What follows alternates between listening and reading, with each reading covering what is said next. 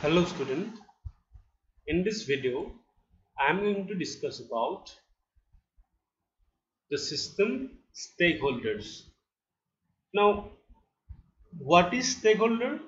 Stakeholder means suppose we are designing or we are involved in a system or a information system then which are the parts or community involved in that system. So obviously with any system there will be stakeholders. Like to run an university like EDU we need to have stakeholders. Like you are the one like student is one of these stakeholders faculty is one of the stakeholders like uh, uh administrative people one of the stakeholders there management which will be also stakeholders like that in an information system also there need to be stakeholders. Now what type of or how many type of stakeholders can be in a information system? So to discuss that let us go through this chart. It will give you the basic view of the stakeholders and the and their purpose with the system with the information system. Like here you can see this side this is these are players or we can say these are the stakeholders. And this side these are called process means what are the process associated with those stakeholders. Now go through one by one. So from this end this end flow will be go as a business perspective. Okay. Suppose we are producing some product using an information system. So in that case that system owners what he, what that the stakeholder will do what the view of system owners for the information system. System owners pay for the system means he provides the money to be to be built and operated and set the vision and priorities for the system. Hence, they view an information system in terms of cost and benefits to solve problems and exploit opportunities. So those are system owners which provides the money and which looks after the cost and benefits of the information system. Now second one. This is the first one. Second one is the system users. Now what they view in this what what their view of the information system?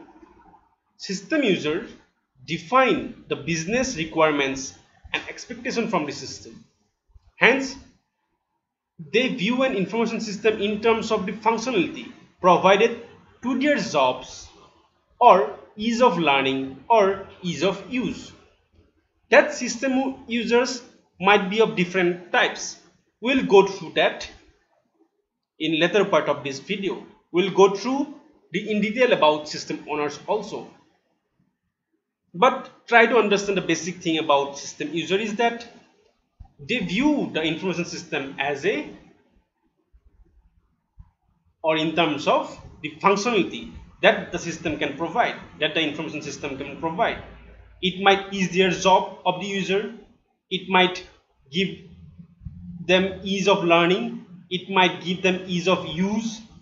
Means using that information system that user can gain something uh, that user can help can get help or the, the user can get to know how to do some job in an efficient way like that.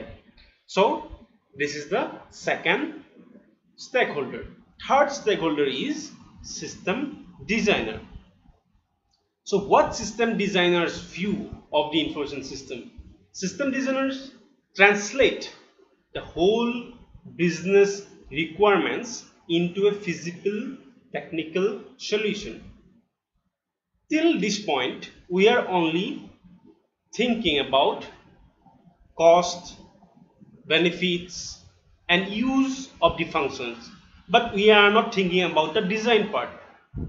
But this designer stakeholder will design according to the needs of the owners to gain benefits and to exploit opportunities and also the designer will think from the system user's perspective also so that the technology that they are going to develop through that information system is feasible one which maintains that business and which maintains with the user's requirements.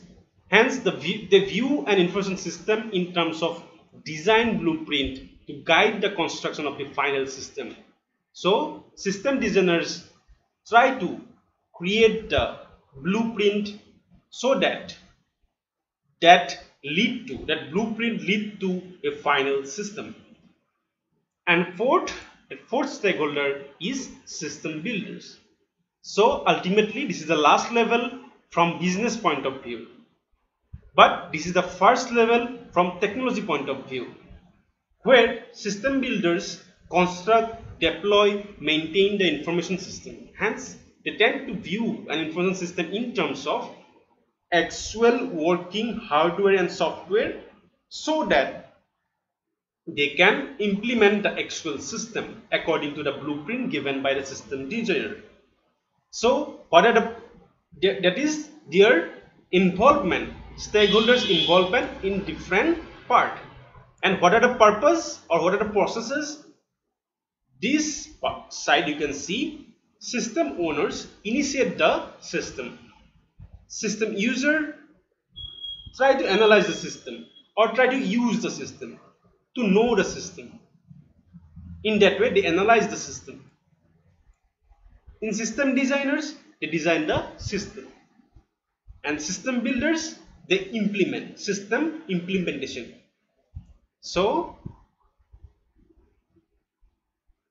this is the chart having different purposes for different stakeholders associating with different system processes. So first, but you can see other than this system user, who is the system analyze, analysis, who do the system analysis part, but one major stakeholder that is system analyze system analyst is missing. Or why that missing? Is there any reason? We'll try to get to know that in upcoming videos. Means system analyst is required always but how they is how that stakeholder involved in this way we need to know.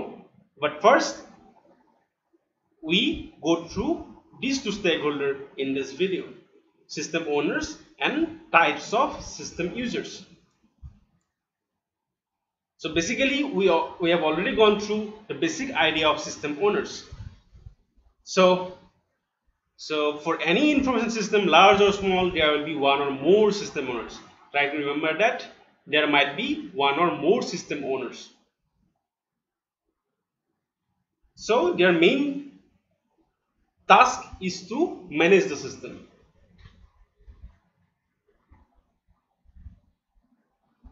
So for any kind of like medium or large information system, system owners are usually middle or executive managers. So they will try to assess the cost and benefits and according to that according to that they will manage the whole system. Or you can say they will initiate and they will run the system. And second one that is system users. We have also discussed this in the chart we have seen previously.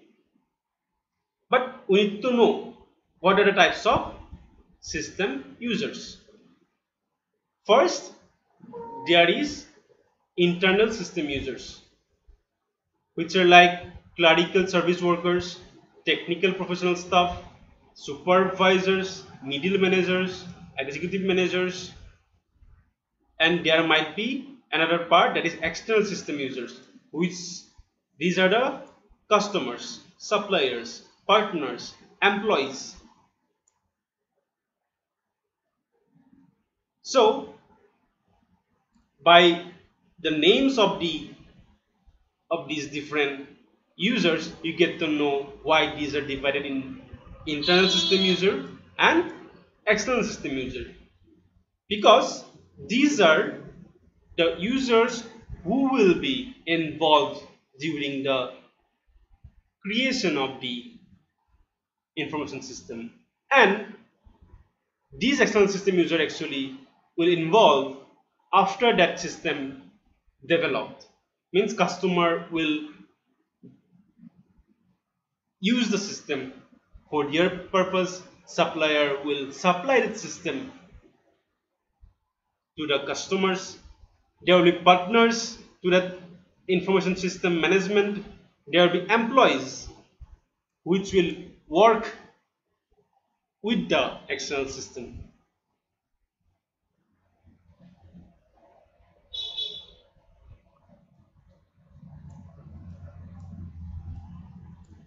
Again, internal system users are employees of the business for which most information systems are built.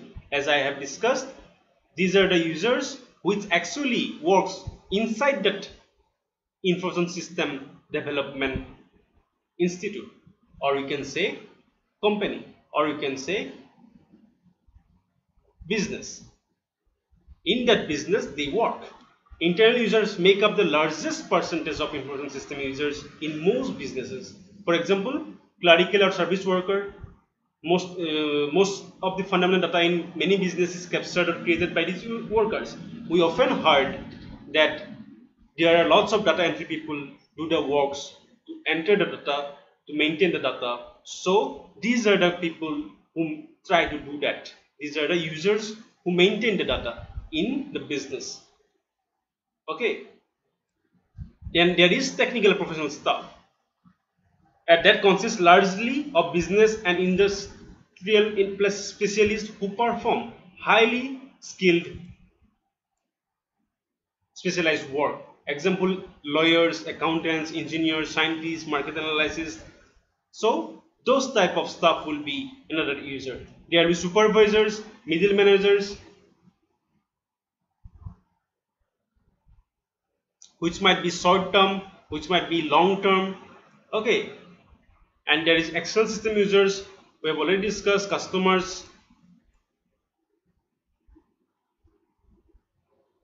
So one thing you need to focus here is that any users from this part will become external if that user buys that buys that information system or the software or the product from, from that business then they will become an external users also.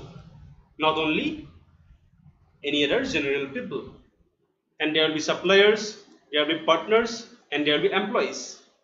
Employees means you might be uh, you might get confused that here also lots of employees are there but why these employees? These employees actually concern about any other employee who works in different businesses but use that system.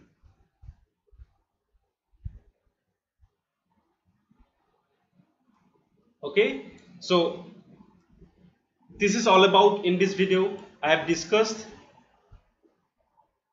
this short different stakeholders and in descriptive way about system owners and system users.